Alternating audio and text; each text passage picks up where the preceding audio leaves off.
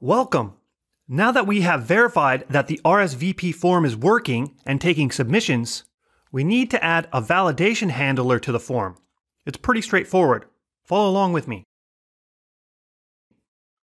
First, open up the rsvpform.php file. Now, above the submit form method and its comment doc block, and just below the end of the build form method, enter the following code. Again, always remember to close the method with a curly brace and include the doc block.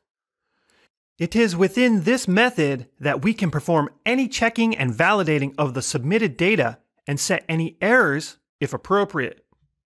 Before we enter the code logic that determines if a valid email address has been entered, take a moment and try to determine on your own which parameter, form or form state, we will be working with the most in this method.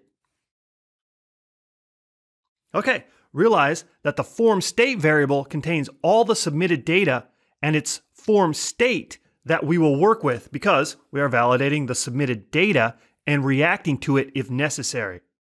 So let's grab the email value with the following code. Form state get value email is the same code we used to get the email value in the submit form method below. This time, we are storing the user submitted data into a variable called value. Now that we have the value, let's perform some logic on it. As is often the case, Drupal provides some very useful functionality. This includes an email validator service. Surprise! Enter this code now. Again, remember the ending curly brace. Looking at this line further, we see that first we are invoking the Drupal service of email validator.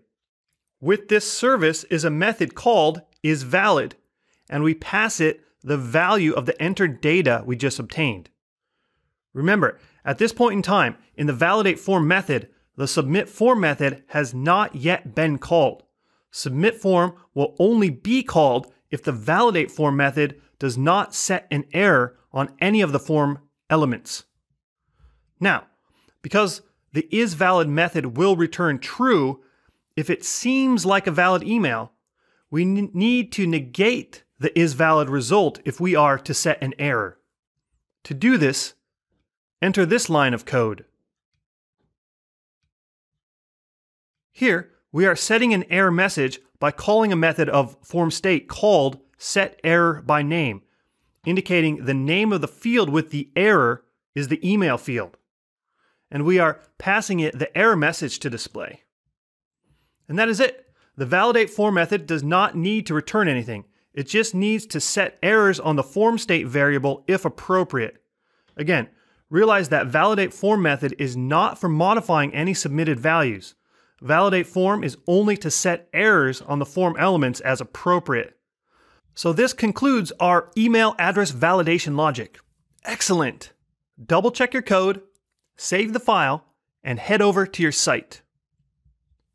Brilliant. Do the needful and flush the cache. Then, head back over to the path of forward slash RSVP list demo. Once there, enter a valid email address such as example at example.com to verify that the form will accept a valid email. Woohoo! The form is working! Now, let's try an invalid email, such as asdf at wah wah. It appears that asdf at is not a valid email. Oh, this is fabulous! Great effort in building the RSVP form to this point. In the coming videos, we will get familiar with working with the database. It's getting good. Great job getting here so far. Happy learning.